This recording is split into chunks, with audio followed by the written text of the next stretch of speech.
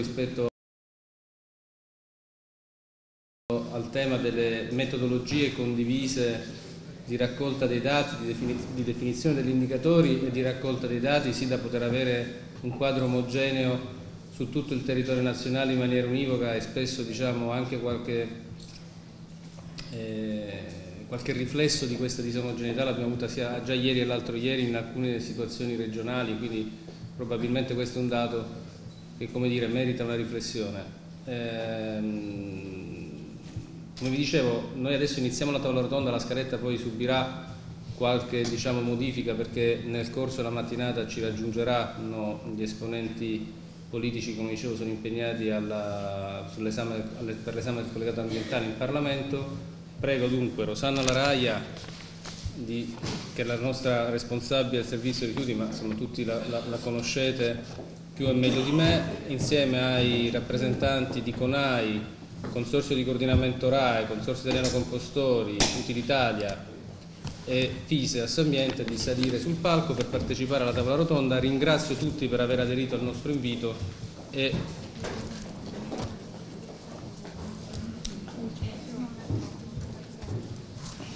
buon lavoro.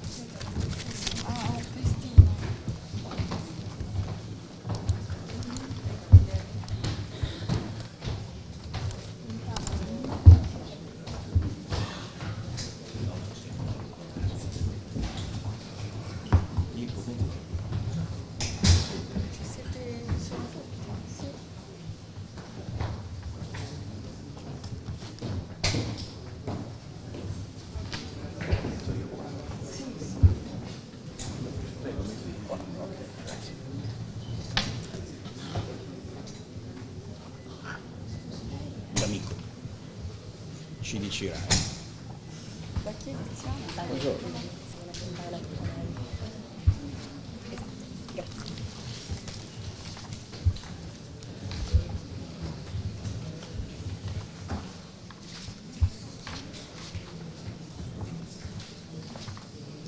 Grazie. Allora ci siamo, aspettiamo un attimo per mettere.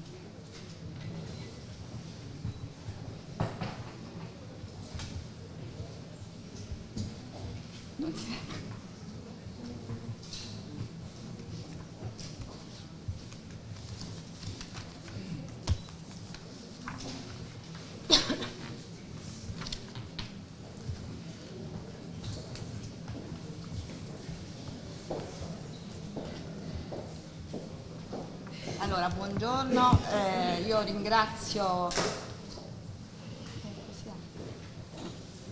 Buongiorno, ringrazio, eh, ringrazio, appunto i relatori, i partecipanti a questa tavola rotonda eh, che eh, rappresentano eh, tutti gli interlocutori, eh, i soggetti eh, che impegnati nel ciclo di gestione dei, dei rifiuti urbani. Ecco perché abbiamo selezionato eh, e abbiamo deciso di farvi intervenire per fare anche dei commenti su, eh, sul lavoro eh, dell'ISPRA. Io comincio a coordinare questa tavola rotonda pronta a lasciare il posto eh, al mio presidente eh,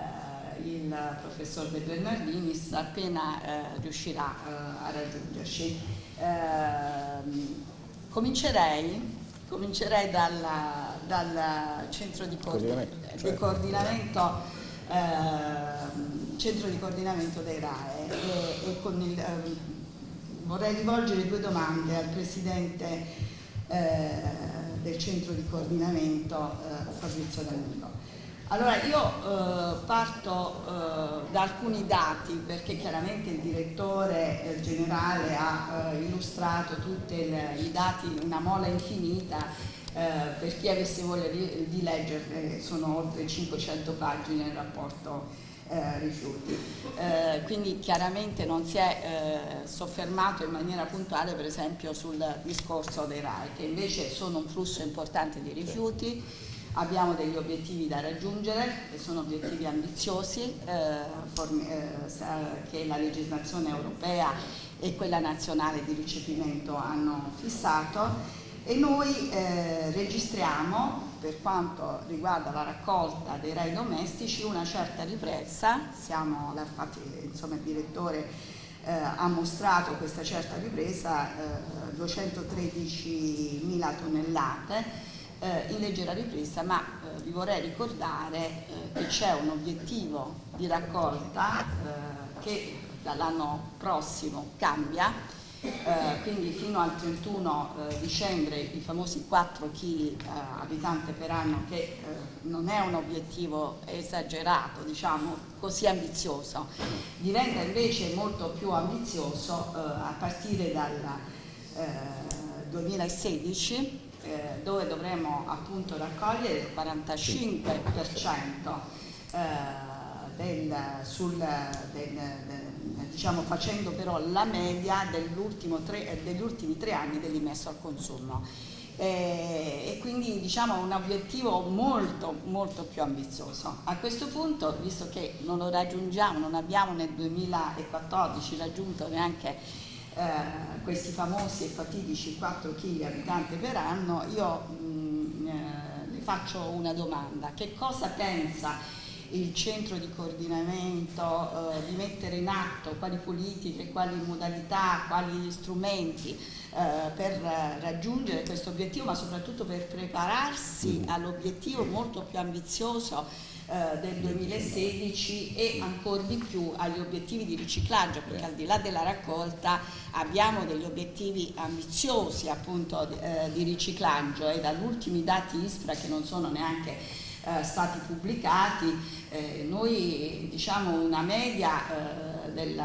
siamo intorno al 61-62% percentuale di eh, recupero in generale, non di riciclaggio, quindi anche qui veramente tanto lontani dall'obiettivo. Grazie, dottoressa Laraia, grazie, grazie per questo invito, buongiorno a tutti. Io vengo con piacere perché eh, in, in una vita passata lavoravo per le ARPA, per l'esattezza per l'ARPA della Lombardia, quindi per me è veramente un piacere sincero essere qui con voi, condividere questa giornata e vi ringrazio ancora per l'invito. Eh, ho molto apprezzato che una delle specialità eh, che sono state mostrate all'interno della presentazione generale del dottor Laporta, del direttore Laporta,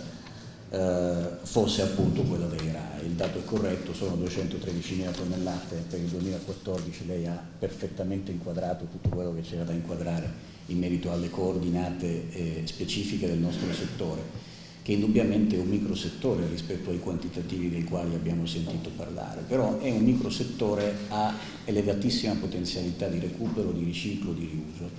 E mi riferisco soprattutto a quello che la legge chiede, come la dottoressa Varaia giustamente introduceva, eh, per il futuro, cioè eh, oggi il sistema è sufficientemente, ancorché non esaustivamente tarato, per raggiungere gli obiettivi di raccolta attuali, cioè i famosi 4 kg eh, che saranno validi come obiettivo di raccolta fino alla fine di quest'anno, non lo è ancora per centrare gli obiettivi che invece la, la direttiva europea e successivamente il 49 hanno introdotto nell'ordinamento nazionale. Non solo, ma non è nemmeno attrezzato per raggiungere quello che sarebbe il grande vero obiettivo dell'economia eh, circolare, che è appunto la capacità di un sistema economico di sostenersi recuperando con la massima efficacia ed efficienza materie prime e seconde dai rifiuti che il sistema stesso produce. Questo è il quadro vero, la domanda è assolutamente pertinente, io non mi tiro indietro e dico questo. Uh, in primo luogo gli accordi di programma che sono stati recentemente rinnovati quest'anno con uh, i comuni italiani e in una maniera, se volete, anche che costituisce un passo in avanti con le associazioni della distribuzione, costituiscono sicuramente il backbone,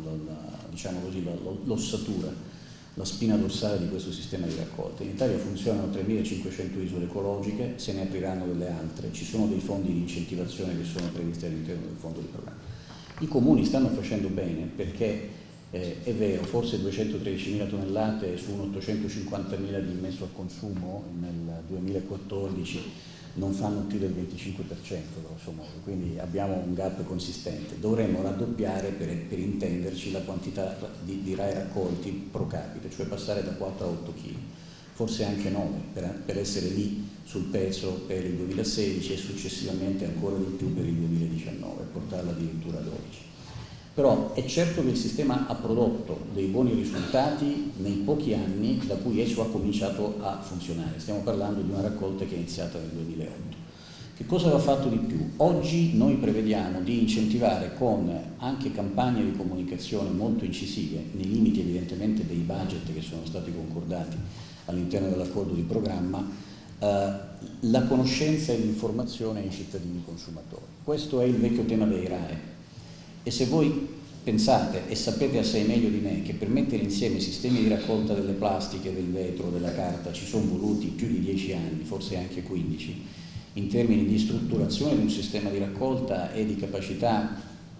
di fornire informazione sensibile ai cittadini, io penso che in questi pochi anni qualcosa è stato fatto e forse con lo stesso ottimismo, se siamo in grado di lanciare potenti campagne di informazione dal punto di vista, vorrei dire, sistemico ai cittadini consumatori, il tasso di raccolta non può che subire un benefico eh, salto in avanti, consistente, spero.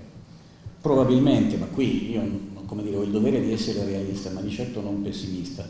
potremmo non essere on time per quanto riguarda uh, la, il 45% di raccolta a partire dal, dal, dal prossimo anno Uh, anzi sicuramente credo non ci arriveremo. Questo non vuol dire però che il sistema non continui a lavorare per ottenere cose di questo tipo ed è la cosa credo più importante da considerare. Uh, credo sia stata fatta forse solo una o al massimo due campagne pubblicitarie sulle televisioni, sulle reti pubbliche e private nazionali negli ultimi anni, uh, costano parecchio, ce ne vogliono Stiamo pensando, credo, a qualcosa del genere ed è tema, per esempio, che il comitato guida dell'accordo di programma, che si riunirà tra poco e che è lo strumento di governo dell'accordo di programma per la raccolta dei RAE, prenderà sicuramente in considerazione. Le campagne non sono mancate, c'è stata una forte educazione dei cittadini consumatori in età scolare e giovanile, si chiama RAI Scuola, il progetto che per anni e che tuttora è in corso eh, cofinanziato finanziato e co-gestito dal centro di coordinamento da Ancitel, da ANCI, ANCI Energia Ambiente, va avanti da parecchio tempo ed ha avuto anche oh, la capacità di contattare circa 12 milioni di persone, componenti nuclei familiari che sono stati contattati nel corso delle varie attività. Tutti questi tasselli contribuiscono sicuramente. Bisogna aprire più isole ecologiche, più centri di raccolta, eh, soprattutto nelle regioni meridionali questo è molto evidente, i nostri dati sono meno eh, coesi rispetto a quelli che riguardano le raccolte differenziate che abbiamo visti qui. C'è un gap drammatico tra nord, centro e sud per quanto riguarda la raccolta dei RAI e questo in, essenzialmente dovuto alla uh, non perfetta strutturazione del sistema di raccolta nelle regioni meridionali. Vi segnalo che di oggi la notizia pubblicata dal quotidiano di Sicilia che viene aperto un primo centro di raccolta dei RAE a Palermo, che è una delle più grandi città uh, del centro-sud, il primo. Meno male, esatto. Quindi lentamente ci muoviamo, ci arriveremo, siamo più che felici di, di, di, di, sapere che questo sta accadendo e di avere questa notizia oggi lì. Pertanto, uh, più raccolta. Un tassello che è mancato e che auspicabilmente eh, eh, verrà eh, potentemente sistemato nel sistema di raccolta è quello della raccolta attraverso la, le associazioni e la distribuzione, cioè attraverso la distribuzione, piccola, grande, organizzata, non organizzata, retail, eccetera. L'accordo di programma che è stato firmato a metà di questo anno, che è di fatto un ingrandimento di uno strumento che già esisteva da qualche anno, consente una maggiore operatività ed una maggiore efficacia eh, nell'apertura di canali di raccolta attraverso la distribuzione, perché oggettivamente eh, andare al supermercato e comprare un rasoio elettrico e liberarsi del vecchio, oppure liberarsi del vecchio se è eh, lungo meno di 25 cm, è più facile che non andare in un'isola ecologica che magari ti richiede di prendere l'automobile a degli orari di chiusura, di apertura, eccetera. Quindi la capacità di offrire sempre nuovi luoghi dove i consumatori i cittadini possono adeguatamente disfarsi, propriamente disfarsi dei loro RAE, è essenziale. Tutto questo dovrà essere fatto sempre di più nei prossimi anni, è inevitabile che questo accada,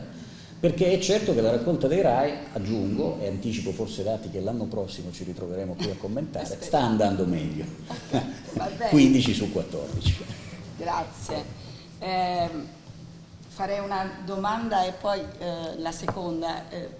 lei mi ha quasi suggerito la, la domanda e quindi la faccio alla a Simona Fontana del, del CONAI perché giustamente ha individuato quali sono le azioni eh, da mettere in atto per raggiungere eh, questi obiettivi ambiziosi. Per il CONAI gli obiettivi li abbiamo raggiunti eh, da anni, questo l'ha detto, l'ha detto bene eh, il direttore Laporta, però eh, come eh, prima eh, si diceva riguardo ai RAE, anche riguardo agli imballaggi, noi lo scriviamo sempre, cioè sono soprattutto alcune regioni che concorrono in maniera eh,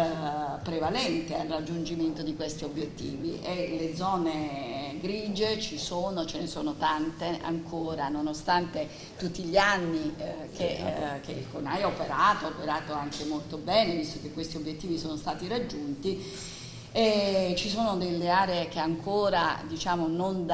quelle, non raggiungono quelle performance. Allora io chiedo a Simona Fontana che cosa eh, intende mettere in atto il CONAI, quali azioni eh, per poter colmare questo gap che nonostante un obiettivo eh, già raggiunto da anni eh, purtroppo rimane.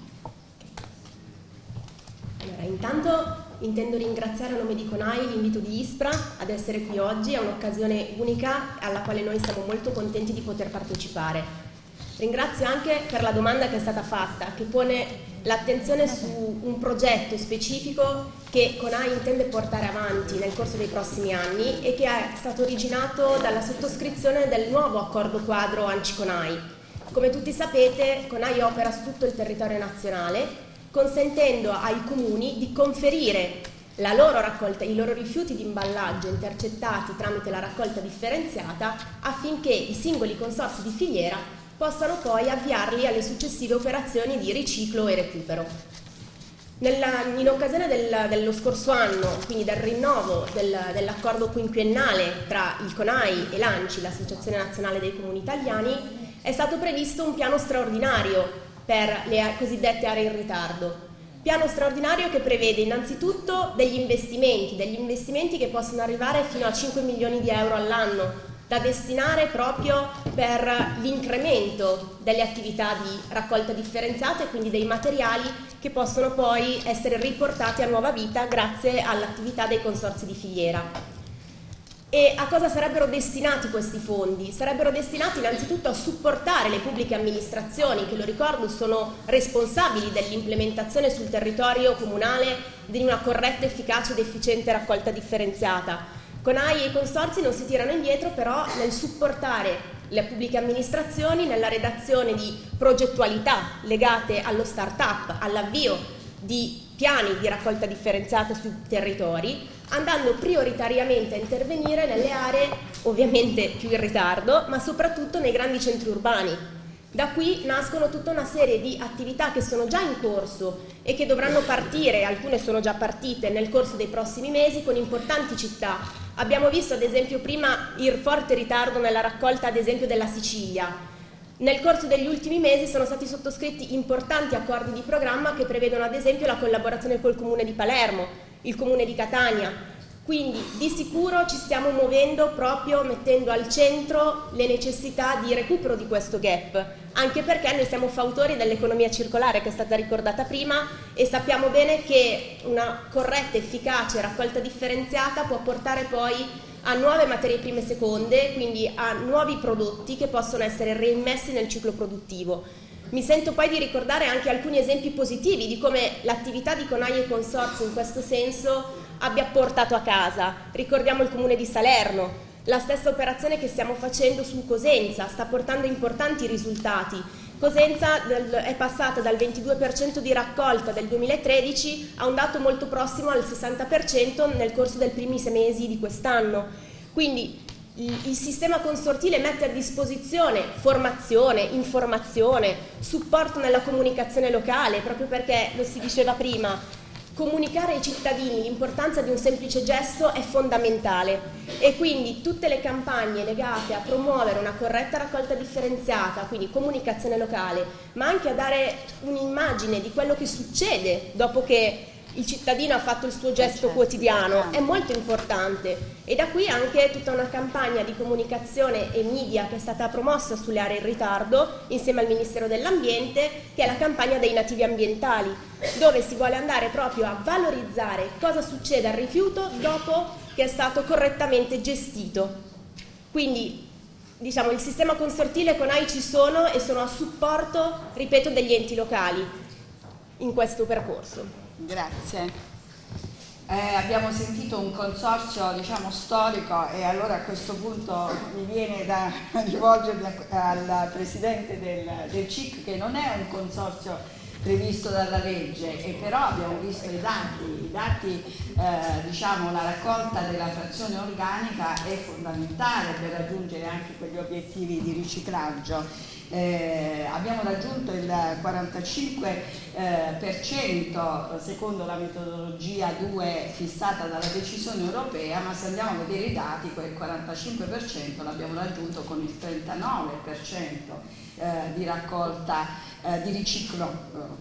di riciclo perché così chiariamo poi anche la differenza tra raccolta differenziale perché c'è anche molta polemica su questo quindi eh, di riciclo della, eh, della frazione organica. E allora eh, il CIC non è un consorzio previsto dalla legge, non è strutturato, eh, il compostaggio invece ehm, eh, sia il settore dal punto di vista impiantistico sia la raccolta dell'organico sono fondamentali nell'ambito della circular economy. E quindi io chiedo al Presidente, questo non avere un consorzio diciamo, strutturato eh, crea mh, dei problemi, vorreste qualche intervento legislativo eh, che eh,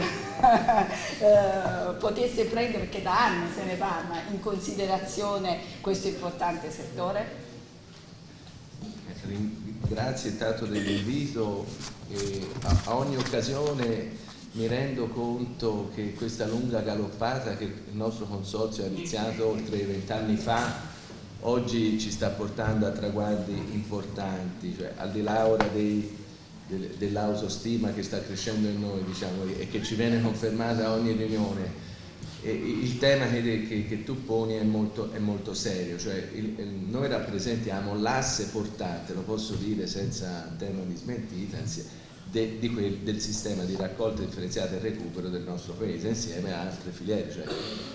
tra frazione organica e carta rappresentiamo circa l'80% di, di, di questo tesoretto. In questi anni si sono sviluppati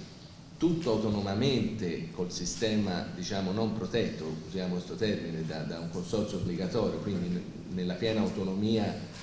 dell'imprenditore pubblico ma anche privato, insomma il nostro consorzio è abbastanza trasversale su questi temi perché rappresenta iniziative industriali sia di origine pubblica che privata ci siamo guadagnati un accreditamento presso il cittadino, perché alla fine è il cittadino che partecipa a questi processi di eh, corretta gestione del sistema rifiuti nel nostro paese. E quindi vediamo, oggi osserviamo che laddove la raccolta differenziata viene portata, eh, la frazione organica raggiunge subito performance interessanti, sia nel nord in maniera diciamo anche eh, strepitosa, ma anche nel sud laddove si fa cittadino partecipa buona, a, al conferimento di qualità de, de, de, della frazione organica. Quindi siamo cresciuti, oggi la domanda che tu poni è una domanda importante perché questa crescita non è una crescita senza difficoltà. Oggi noi abbiamo profili tecnologici di grande innovazione e di grande appeal per il nostro Paese in termini complessivi. Voi pensate cos'è il sogno di poter produrre da queste frazioni organiche una fonte di energia primaria come il metano. Oggi si sono aperti dei fronti che sono in corso di definizione per l'utilizzo del metano proveniente dalla digestione anaerobica sia per autotrazione sia per la diretta emissione in rete. Siamo stati per anni, a volte ce ne dimentichiamo ma non dobbiamo farlo, un supporto fondamentale al mondo agricolo. In questo dialogo col mondo agricolo avremmo avuto bisogno, oggi quindi posso affermare che questa è una di quelle cose di cui abbiamo bisogno, di poter metterci intorno a un tavolo in maniera strutturata, pianificatoria, come si fa in un paese che ha i numeri a questo punto per vedere in maniera globale il problema e capire tutta la frazione organica che noi trasformiamo in compost, quindi un prodotto, un ammendante utile per l'agricoltura, come il suo utilizzo possa essere valorizzato al meglio all'interno di un'economia circolare che vede anche l'agricoltura. Questa iniziativa di valorizzazione il CIC l'ha fatta da solo, si è creato un marchio di qualità che oggi è molto apprezzato dagli utilizzatori del compost, quindi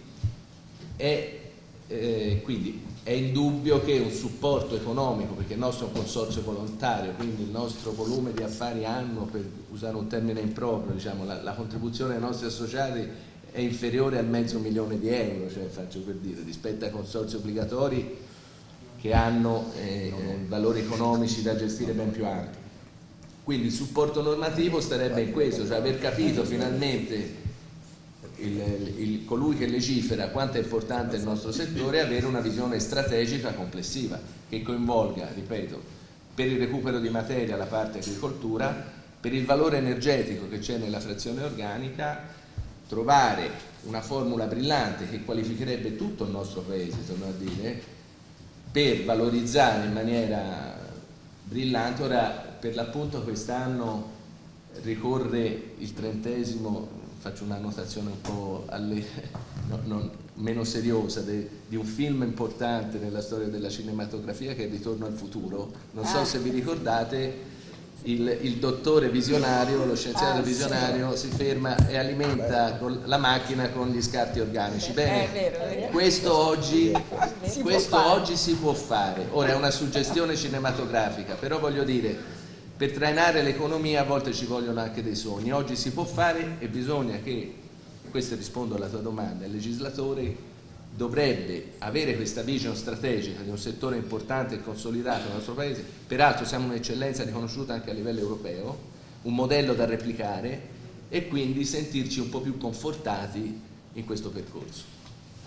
Grazie, intanto io devo salutare il mio presidente, eh, il professor De Bernardini, vorrei cedergli il, il, posto, faccio un giro ancora. Ok, allora eh, va bene, ringrazio il presidente. Allora. A, a, questo punto diciamo che eh, ero seduta lì, perciò mi viene la domanda, ero seduta lì vicino alla vicepresidente di Utilitalia Brandolini e eh, quando il mio direttore eh, leggeva un po' i costi eh, dei servizi di igiene urbana e ho visto qualche commento. Allora a questo punto io, e poi sapete che eh, anche per chiarire un po' quello che scrivono poi i giornali la scorsa settimana, appunto Repubblica, anche ripreso mh, alcune cose che avrei detto io in realtà forse non mi ha compreso completamente, eh, vorrei eh, dire che noi come ISPRA eh, abbiamo fatto quest'anno, oltre allo studio eh, che il direttore generale ha mostrato sulla tariffazione puntuale, anche un approfondimento eh, della correlazione, se volete, dei costi eh, dei servizi di igiene urbana, in realtà eh, euro il costo per, per, abitante, per chilo di rifiuto, eh, in diversi scenari di raccolta differenziata su ben 462 comuni, quindi non quelli pochi della tariffa puntuale, ma con una popolazione coperta, visto che c'è anche il comune di Roma, quindi il comune di Roma ha solo 2,8 milioni eh, di abitanti eh, e abbiamo eh, dimostrato che in diversi scenari di raccolta all'innalzarsi della percentuale di raccolta differenziata eh, e eh, alla presenza a valle di un'industria appunto dei rifiuti quindi e di una drastica riduzione dello smaltimento in discarica i costi si abbattono eh, come abbiamo visto pure per la tariffazione puntuale, più sale la raccolta, ma c'è anche dietro un'infrastruttura, un'industria e il costo diminuisce. Allora io vorrei chiedere eh, a Brandolini, eh, condivide eh, questa, mh, questi nostri dati eh, e eh, soprattutto abbiamo visto regioni con alte performance, costi bassi. Eh, come si può fare? Eh, a eh, coniugare eh, le due cose?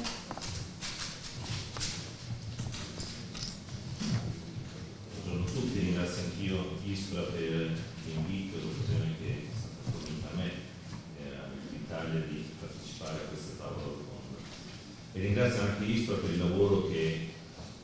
continuamente eh, fa, per eh, i lavori che produce per rendicontare eh, la gestione dei rifiuti nel nostro Paese e da ultimo anche intervenire in maniera eh, così eh, analitica e approfondita anche sugli aspetti di costo eh, che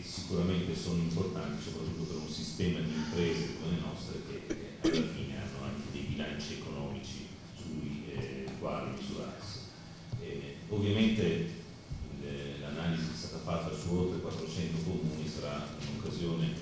eh, importante per noi per mettere a confronto anche quelle che sono le nostre conoscenze, le conoscenze che abbiamo prodotto anche a livello di eh, associazione. E, e, questo è un approccio molto corretto, molto importante perché come si citava prima un articolo di giornale eh, potremmo citare tante altre affermazioni in maniera purtroppo semplicistica perché hanno necessità di essere immediate rischiano di banalizzare il problema e di non consentirci una eh, valutazione eh, ponderata e, e, reale di quello che è lo stato dell'arte anche rispetto eh, ai costi. Perché nella gestione dei rifiuti ci sono vari fattori da tenere in eh, considerazione. Correttamente prima Rosanna Laraia eh, diceva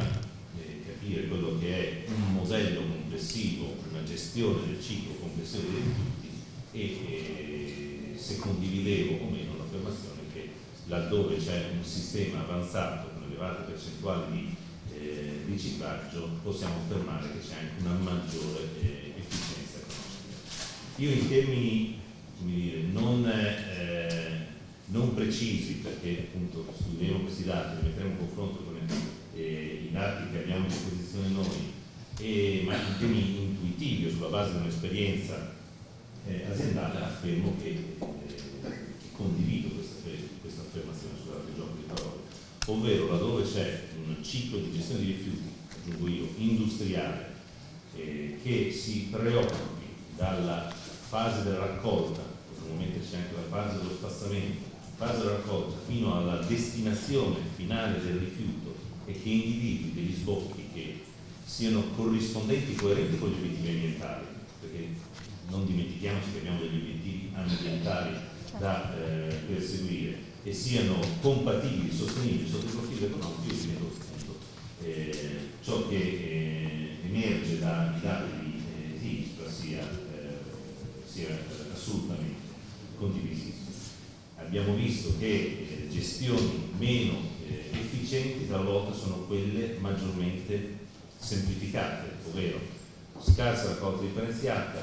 scarso sistema impiantistico tecnologicamente eh, avanzato a valle e casomai ricorso eccessivo allo smaltimento di discariche, casomai discariche anche che godono non di una privativa dal punto di vista normativo, ma di una privativa de facto eh, e casomai sono discariche anche de, gestite da eh, operatori totalmente sganciati dalla regolazione pubblica per cui possono anche determinare il eh, sistema tariffario di accesso a queste discariche. Conosciamo casi nel Paese in cui lo smaltimento del rifiuto eh, costa 160, 180, 200 euro eh, a tonnellate, quando li mettiamo in confronto con quei dati di estrema sintesi, vediamo che ovviamente non è competitivo anche dovesse esserci uno scarso ricorso allo smaltimento eh, alla eh, discarica. Noi abbiamo fatto come eh, associazione eh, già, abbiamo già pubblicato la seconda edizione che ha già un paio d'anni, quindi eh, ormai eh, dovremo ragionare su un suo aggiornamento, eh, per analizzare i costi della raccolta differenziata, solo della fase della raccolta, per me, mettendo a confronto vari modelli, ma anche verificando quelle che sono state le dinamiche nel Paese. Stiamo parlando di costi effettivi, quindi abbiamo lavorato eh, attraverso un consulente eh, altamente qualificato su dati forniti dalle aziende, quindi costi effettivi denunciati dalle aziende, su un campione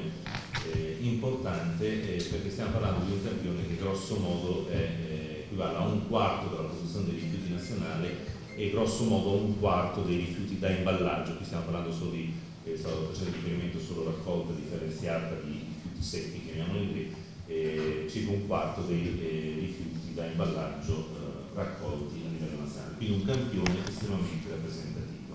E abbiamo messo a confronto dati 2007 e 2012. Che cosa è emerso? È emerso che a fronte di un elevato aumento della raccolta differenziata, questo è accaduto anche con un cambio di modello, quindi da eh, modelli prevalentemente stradali si è passato a un modello prevalentemente domiciliare, porta a porta eh, o comunque di raccolta differenziata spinta. Essendo solo dal punto di vista della raccolta, non del ciclo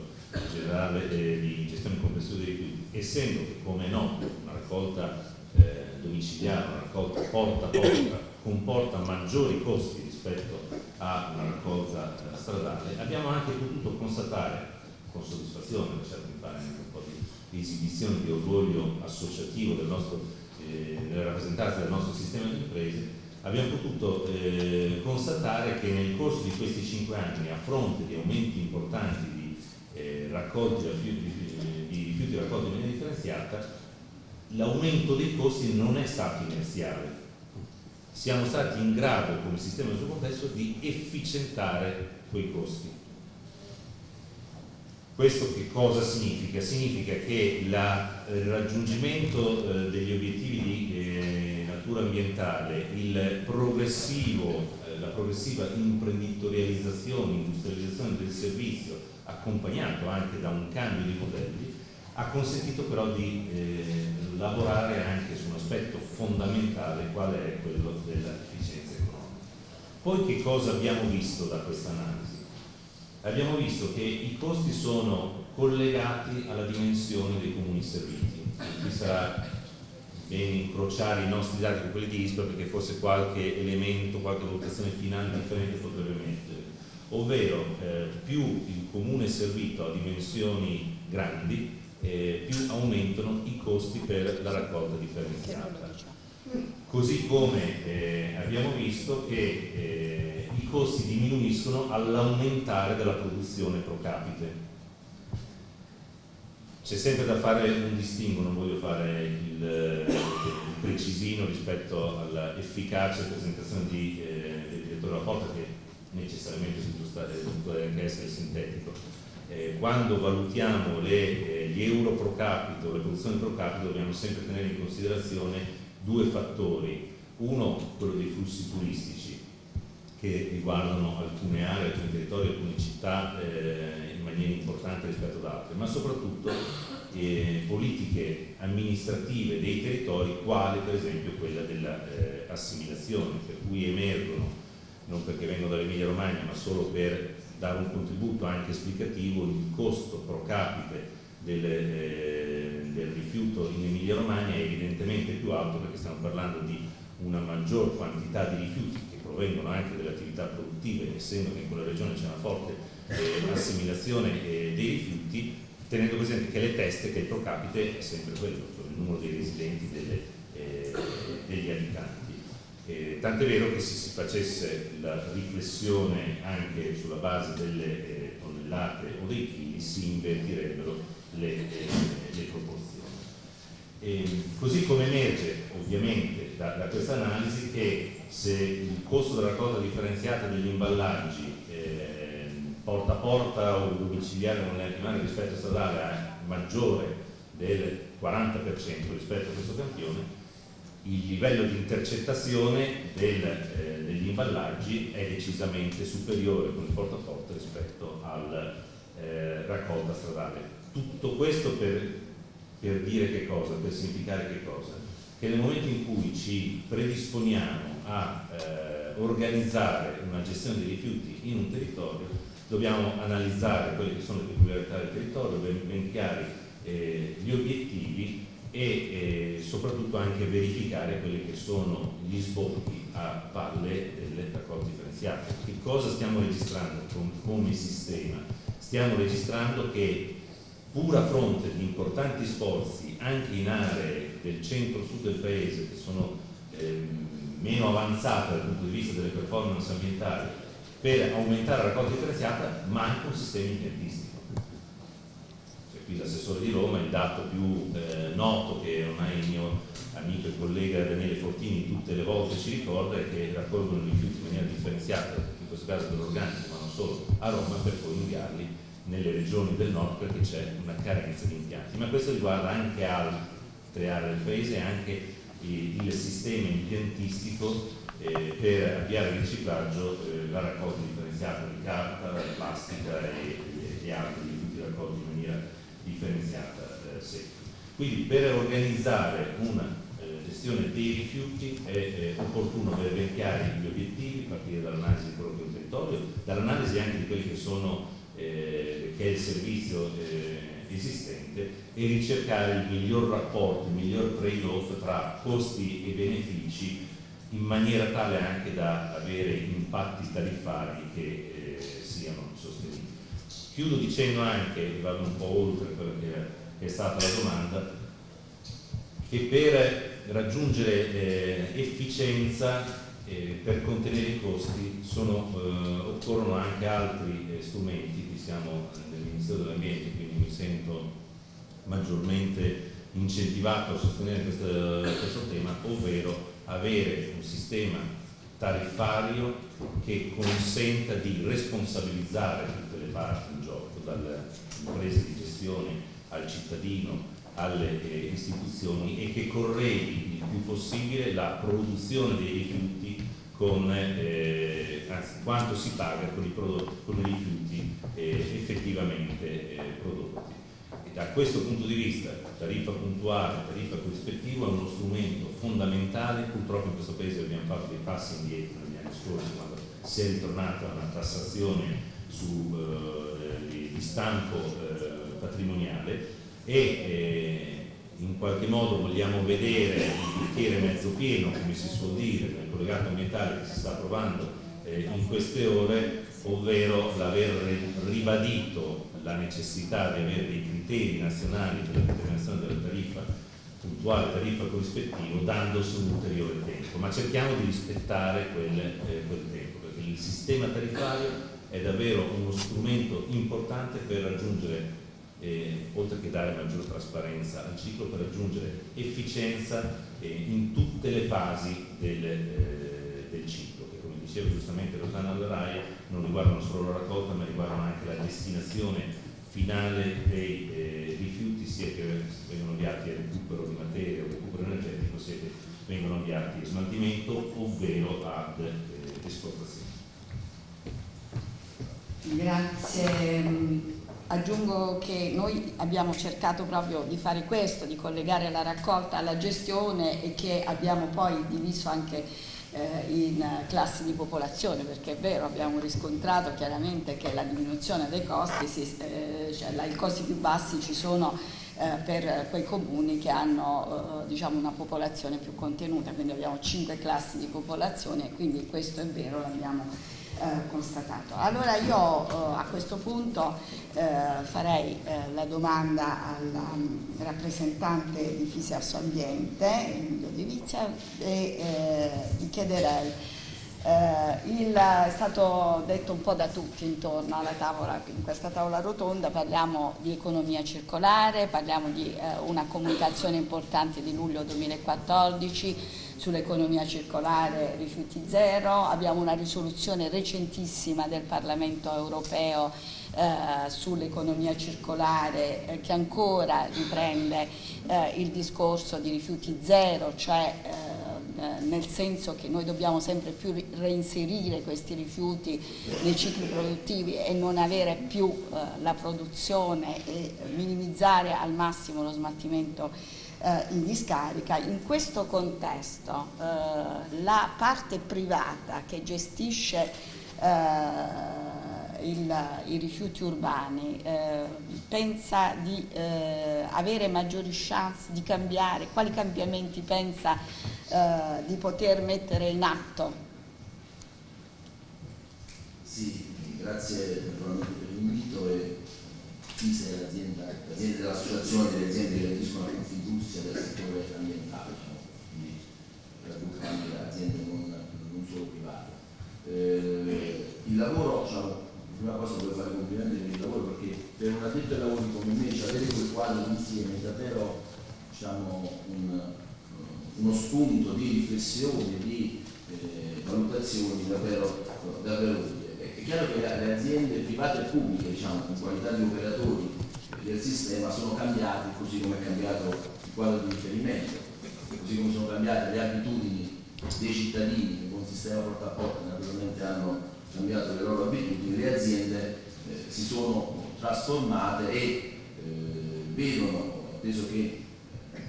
parte, o meglio, la totalità degli ottimi risultati è dovuto al cambio di sistema, cioè la ragione Brandolini è chiaro che il sistema porta a porta è, è l'unico che può darci eh, diciamo, le percentuali di differenziate, le percentuali di recupero, quindi un materiale pulito che poi possa mettere in piedi un sistema industriale per il, il proprio uh, riutilizzo. Eh, le aziende come sono cambiate? È chiaro che eh, dal, dalla raccolta, nel settore della raccolta, diciamo, dalla raccolta a cassonetto al porta a porta vi è una rivoluzione, nel senso che eh, al di là degli aspetti eh, operativi, quindi automezzi, attrezzature con diversi impatti, eh, automezzi diciamo, elettrici, ma c'è addirittura un rapporto diretto con l'utente, cioè, che conferisce, quindi tutte le nostre aziende eh, pubbliche o private oggi hanno eh, un eh, rapporto diretto con l'utente a cui consegnano le attrezzature, con quale hanno diciamo, vanno a effettuare le, le, le, raccolte, quindi tutte le aziende hanno un vero e proprio sistema di centro servizi, di informazione, di numeri verdi, quindi è un po' cambiato completamente l'approccio. La, uh, solo um, diciamo, il eh, sistema porta a porta può in effetti eh, dare, questa, uh, da, dare, questi risultati. Uh, mi permetto di dire che proprio questa distinzione nord-sud, non diciamo perché voglio portare avanti diciamo, le, le, ragioni de, del territorio da cui vengo, che tra l'altro è una delle province che è ai primi posti, che Benevento che è proprio ai primi posti, però questa distinzione nord-sud secondo me ci fa, nord-centro-sud, ci fa perdere l'obiettivo reale, perché io, io credo che c'è una distinzione tra delle realtà che non hanno ancora scelto questa strada e delle realtà che invece certo. l'hanno scelta da anni eh, e il dato, naturalmente noi non potremo mai vedere una Sardegna o una campagna che supererà il Veneto. Non lo potrà cioè, no, eh, non, lo, non lo si potrà mai vedere, perché se noi analizziamo i dati delle province che sono hanno le stesse caratteristiche del Veneto, come quella del Benevento, il dato è vicino. Se noi immaginiamo che una regione come la Campania, che ha 6 milioni di abitanti, di cui 3 milioni sono concentrati in una provincia, eh, con una presenza di cittadini con oltre 100.000 abitanti di gran lunga superiore. È chiaro che questo obiettivo lo dobbiamo vedere da qua ad andare davanti. Ah, certo. Tenga conto che comunque questo non vuole essere eh, diciamo un, eh, proprio tra i comuni con popolazione superiore ai 50.000 abitanti ci sono diversi della campagna che sono al primo posto, anzi addirittura al secondo, quest'anno posso dire che uno di questi è al primo, è stato premiato qualche giorno fa, ma è evidente che il dato va confrontato, se noi prendiamo le singole province, Benevento l'abbiamo visto, abbiamo visto Avellino Salerno, i, i, risultati sono simili più o meno certo. a quelli del Veneto, a quelli del, del, del Friuli. È chiaro che il cammino è più lungo laddove la stessa Sardegna, diciamo, io porto l'esempio della Sardegna perché è stato secondo me eh, ha, ha, introdotto delle eh, norme chiare e precise, cioè senza nessun tipo di cioè, premialità chi raggiunge e penalità chi non raggiunge, cioè senza nulla di e questo sistema eh, virtuoso ha fatto sì che al netto di oggi, credo, le due città più grandi della Sardegna, oggi la Sardegna è ai primissimi, ah, certo. ai primissimi posti. E lo si fa, perché poi a, a, al di là dei costi ha ragione Brandolini, cioè organizzare il porta a porta in città da 100.000, 200, o, o, comuni come Roma o Napoli, diciamo, è, non si arriverà mai forse a un porta a porta uh, puro, ci, saranno sempre, ci sarà sempre l'introduzione di, di variabili che eh, consentiranno naturalmente una eh, perfetta eh, intercettazione del, del rifiuto. La problematica degli impianti è l'altra problematica che condiziona alcuni di quei territori, perché è evidente che, eh, diceva sempre bene Brandolini, la presenza di un ciclo virtuoso sul territorio consente una serie di scelte, ma l'assenza completa in alcuni territori che pure hanno buone percentuali del ciclo completo dei rifiuti, quindi questo turismo dei rifiuti eh, io non so se sono, certo. sono addetto ai lavori, mi garantisco quando, quando attraverso l'autostrada che si vanno a fare tra Modena e Bologna un venerdì, ma io avevo l'impressione che ogni 10 automezzi ce n'erano 4 o 5 che trasportavano rifiuti. Cioè questo uh, turismo dei rifiuti, di, di frazione di rifiuto anche diciamo, semplici da gestire, come la frazione organica no? che sta crescendo e che in alcune realtà diciamo, del centro-sud ha anche percentuali maggiori, eh, che però vengono praticamente, diciamo, voglio, mia moglie mi ha fatto fare un ragionamento l'altro giorno, dice ma com'è possibile che un rifiuto che è così semplice da gestire, fino a quando ce l'abbiamo in casa, no, noi lo abbiamo in casa, questo rifiuto urbano, lo conserviamo con il porta a porta, lo conserviamo anche per qualche settimana prima della raccolta, anche diciamo 15 giorni. Se abbiamo un giardino, l'umido lo possiamo gestire da soli, come è possibile che quando esce fuori di casa diventa una cosa così complicata da gestire? Cioè, per gestire l'umido che produco io a casa deve esserci qualcuno da Pavo o da Udine che lo gestisce. Com'è, com'è possibile che fin quando lo conserviamo in casa è, una, diciamo, è un materiale che anche i bambini possono toccare, possono, cioè, poi quando esce fuori diventa una cosa impossibile. Quindi credo che la semplificazione dei rifiuti solidi urbani, che sono altra cosa da tutto il resto, diciamo, da, da, da, dagli speciali, dalla carenza del, forse possa, possa, servire, eh, possa, servire, a tutti, eh, perché davvero non si comprende come eh, in, alcune, in alcune realtà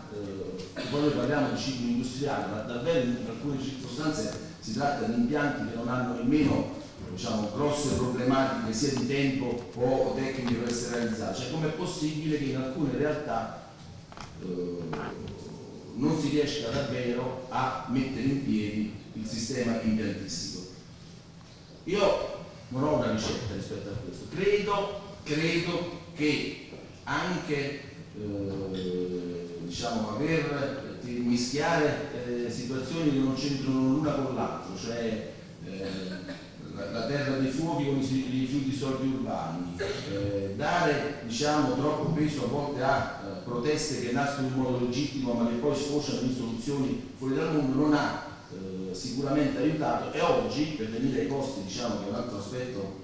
importante di questa vicenda, molti di questi costi sono drogati tra virgolette da questa assenza di, di, di, rifiuti, perché nelle realtà dove si sta facendo di tutto per raggiungere, non è un, circuito, un circuito virtuoso, non può essere quello dove smaltire un chilogrammo o una tonnellata di frazione organica dei rifiuti costa più che smaltire il differenziato. È evidente che questo diciamo, prima o poi porterà delle conseguenze che, eh, anche perché parliamo di servizi che poi vengono remunerati dai cittadini, quindi prima o poi queste, queste, queste contraddizioni esploderanno, esploderanno anche a breve. Grazie, prima di lasciare questa tavola rotonda il posto al mio Presidente, io eh, vorrei, eh, vedo in sala l'assessore eh, Marino e siccome eh, diciamo il, ehm, il, direttore Laporta ha eh, diciamo, sottolineato le buone performance della città di Roma, perché va detto, prima l'ha detto Brandolini, poi l'abbiamo sentito anche ora, da Divisia praticamente le difficoltà di una grande città, e Roma è la più grande, a, ad organizzare un efficace sistema eh, di raccolta veramente eh, è difficile. Roma in, in qualche modo ci è riuscita, è al 35,2 ma con un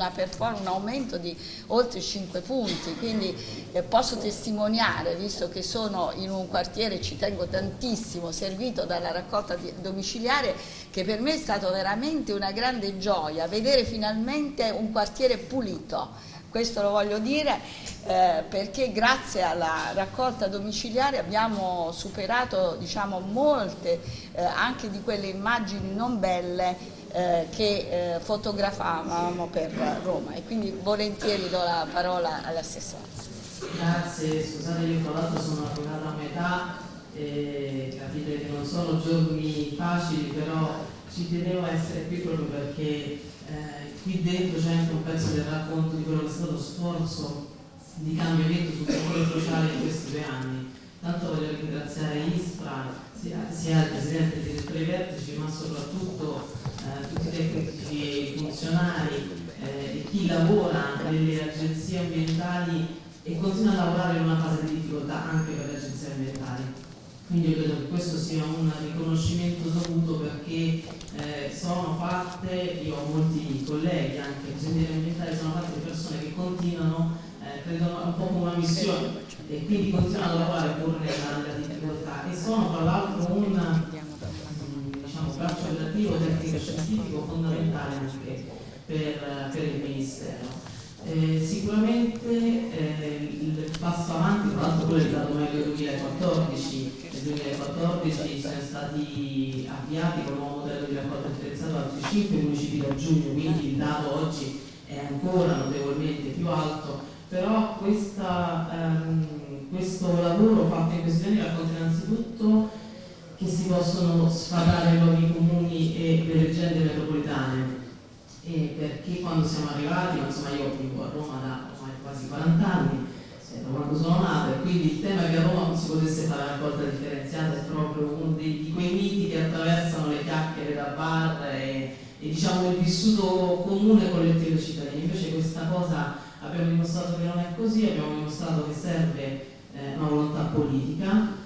sono servite anche tante le norme le leggi, perché poi di fatto, come dico sempre, gli obiettivi di raccolta differenziata, al di là che del pallino di alcuni ambientalisti ormai sono una norma di legge a cui bisogna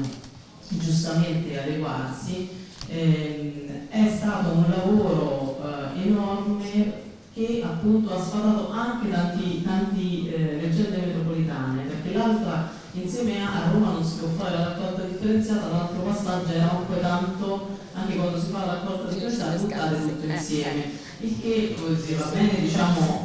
eh, essere non particolarmente intelligenti a volte da parte delle amministrazioni, ma siccome costa fare la raccolta costa un po' di più, a questo punto avremmo preso anche tutti insieme, perché insomma prendere separato, magari la raccolta differenziata e buttare tutti insieme è qualcosa di anti veramente anti, eh, eh, anticorruttivo e anti, antieconomico. Lo sforzo è stato fatto a partire, qui dico forse eh, a questo tavolo il prossimo anno in una tavola rotonda così manca forse un attore eh, che io rappresento ma non rappresento in quanto manca il rappresentante degli enti locali. Eh, era stato invitato. Potrebbe essere, potrebbe essere rappresentante dell'ANCI perché è ovviamente uno degli elementi di questo mosaico, eh, di questo mosaico complesso e però è qui rivendico il fatto che in questa città l'amministrazione e la politica abbia eh, ripreso in mano il tema dei rifiuti e le politiche dei rifiuti, il fatto che siano le amministrazioni che fanno poi quelle scelte che determinano o meno dei cambiamenti che passano anche per la scelta tecnica del modello fino, a, fino diciamo, alla fine del, del tema dei rifiuti, però passano soprattutto per eh, scegliere di cambiare sistema e di decidere di aderire a quella normativa eh, comunitaria di andare verso il recupero, riciclo, raccolta differenziata e solo in via residuale eh, incenerimento e eh, smaltimento. E questa è stata la scelta operata a Roma perché ne eravamo convinti da un punto di vista ambientale, perché Malagrotta finalmente ha chiuso, perché ne siamo convinti da un punto di vista economico, all'inizio costa, ma non dobbiamo neanche non elencare come ha fatto Braverini tutte le, le sfaccettature del tema. La scelta della raccolta differenziata di certi modelli è una scelta che va fatta rispetto alle esigenze del territorio, non esiste la soluzione, tutto porta a porta, tutto stradale, tutti insieme. Non esiste la soluzione, è una scelta che va maturata rispetto alle condizioni a contorno. È una città come Roma, questo è il lavoro fatto che è stato fatto in questi, in questi due anni, perché poi c'è da tenere un difficile, come sta bene appunto il Presidente Fortini, un difficile lama, un difficile equilibrio anche economico delle aziende nel momento in cui si approccia questo cambiamento. Fare la raccolta differenziata all'inizio costa perché il porta a porta ovviamente al bisogno del personale è un elemento costoso, ma poi noi abbiamo un ritorno, lo stiamo vedendo, un doppio ritorno perché mandando meno materiale nella filiera, che è una filiera per i comuni di costo, a smaltimento e valorizzazione energetica, noi diminuiamo quei costi e poi conferendo le piattaforme con aria abbiamo anche il ritorno al contributo con aria per quello che invece raccogliamo differenziato. Unica nota dolente sicuramente il tema dell'impiantistica in generale, in particolare a Roma dell'impiantistica di compostaggio, però qui c'è un altro tema che va affrontato appunto come scelte ehm, politiche. Perché a valle c'è un settore industriale e noi guardiamo sempre il tema dei cittadini, il servizio, ma a valle c'è un settore industriale con tutte le dinamiche legittime e illegittime di un settore industriale. Allora la scelta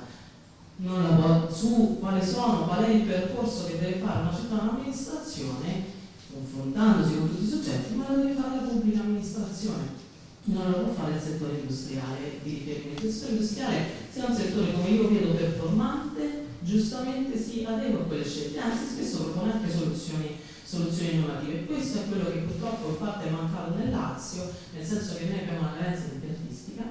e anch'io vorrei evitare di portare a Padova sia per i costi sia perché uno fa l'energia diciamo, di tutto lo smaltimento, fare 600 km con un camion non è proprio il massimo come impronta ecologica,